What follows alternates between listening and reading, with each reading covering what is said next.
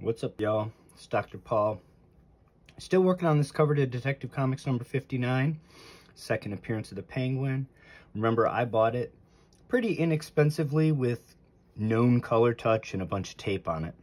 So, summary so far, we did a dry clean. We disassembled the books by the book by removing the two staples. I used hexane to remove the tape carrier, which is the plastic strip, that left behind the adhesive. I used a xylene to actually remove the adhesive with a scraper. Those non-polar solvents didn't do much to the ink, uh, the, the actual color touch ink. Um, the xylene took some of this yellow out. Then we went to an aqueous bath. We did aqueous with uh, 1% Triton X 1000 in warm, or 100 in warm water. We did two 10 minute baths of that, two 10 minute warm water rinses after. Um, dried it under pressure, and then we went back to non-polar solvents. We did um, hexane alone, and then we did hexane plus xylene together, 50-50, um, half a liter.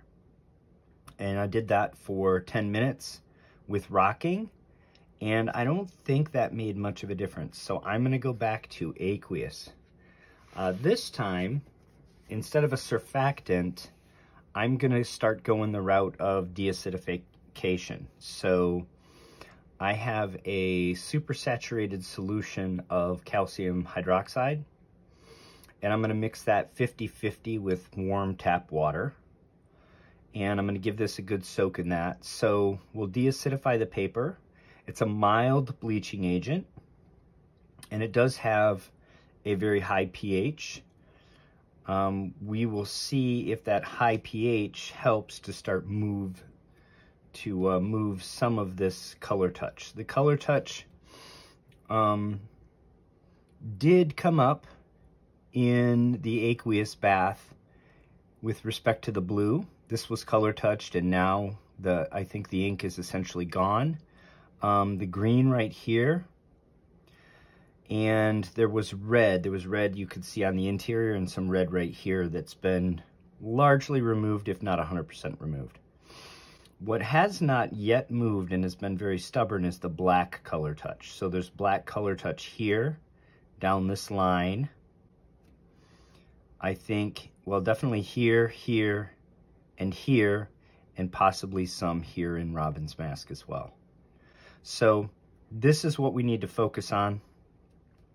And uh, I'm hopeful that that uh, aqueous water bath will continue to move that black ink out. We do, we have had some movement because if you look at the earlier videos, what is now kind of a faded blue area here, this was literally a black line when we started. So we've had some movement in that ink, but not enough. Not enough to satisfy me that we're getting the color touch out. So next step is an aqueous bath, like I said, with um, basically half saturated calcium carbonate, uh, calcium hydroxide rather. Um, and that'll buffer and deacidify the paper and potentially give us some additional loss of ink. Uh, hopefully, just mostly in the area we want. So stay tuned for that, and I'll talk to you soon. All right, we're back with our cover to Detective Comics number 59 between two pieces of Remay paper in our photography um, tray. And we're about to do a half saturated calcium hydroxide bath. So this is approximately 0.8 grams of calcium hydroxide per liter of water. For those of you that aren't chemistry majors, I'm going to give you a really simple uh, trick to get the correct concentration. So use a spatula like this one. You scoop your calcium hydroxide into a vessel and I don't know how well you can see this, but I've put so much in that it's no longer in solution. It's what's called supersaturated. So some of the calcium hydroxide is just sitting on the bottom like salt. So this solution up here is saturated. In fact, it's called supersaturated because we have undissolved calcium hydroxide on the bottom of the solution, okay? I can just shake this up and then once it settles, I know that the solution above the salt layer is saturated. I know that the saturation of calcium hydroxide in room temperature water is 1.6 grams per liter. So I know that that's what that concentration is at. Then I take that and I mix it 50-50 with warm water. So I just have a big jar. I have half liter marked and one liter.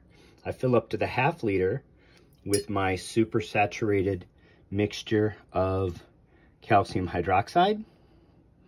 And then I fill the rest of the way up to one liter with warm tap water.